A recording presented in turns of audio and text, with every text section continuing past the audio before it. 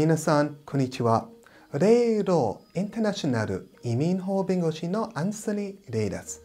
今回はアメリカ国籍をお持ちの方と結婚後にアメリカの永住権、グリーンカード申請をされる方のため、グリーンカード申請時の面接についてお話しいたします。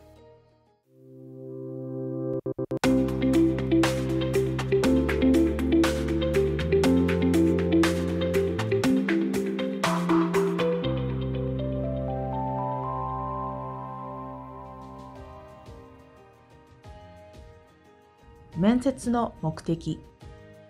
皆さんは1990年に制作された映画「グリーンカード」をご存知でしょうか？主人公はフランス人男性とアメリカ人女性の2人。見ず知らずの関係でしたが男性はアメリカで暮らすための永住権。彼女は単身者不可のアパートで暮らすために偽装結婚を企てるというロマンティックコメディ映画です。この映画は実話をもっとした映画ではないですが映画のストーリーになるほどアメリカでは外国籍の方との結婚が多いことがわかるでしょ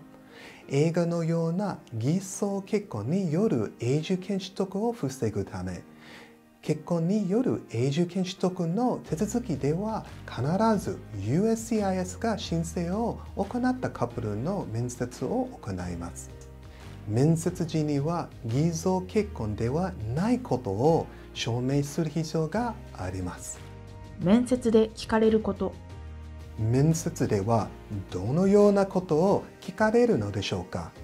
日本には新婚さんいらっしゃいという1971年から続く長寿テレビ番組があります。あれほど砕けた感じではありませんが基本的な質問内容は同じと考えていいでしょう。大きく分類すると聞かれるのは以下の内容です。2人の出会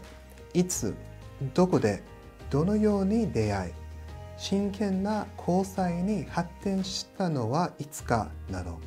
記念日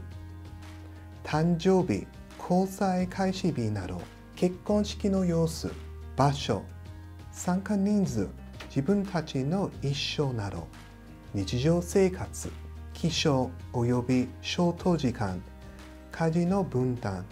家庭の切り盛りの仕方など料理外食の頻度誰がどれぐらいの頻度で料理するかなど家族友人双方の両親や兄弟子供友人についてなど住宅家の間取り寝室の様子など教育仕事最終学歴専攻仕事の内容業務期間など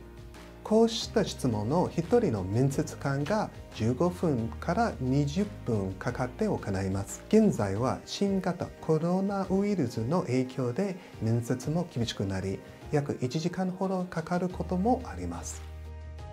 面接をうまく運ぶヒント。備えあれば憂いなしと言います。本番の面接で慌てないために以下のことを心がかけましょう。予定時間の30分前には到着。スーツなどフォーマルな服装。落ち着いた話しぶり。質問に答えられなくても慌てない。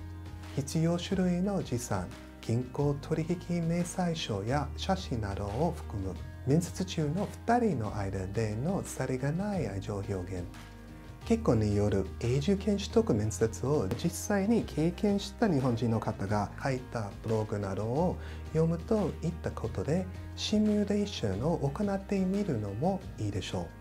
私たちはこれまで多くのグリーンカードのケースについて対応してきました。不安な場合や困った場合は移民法に強い私どもにぜひご相談ください。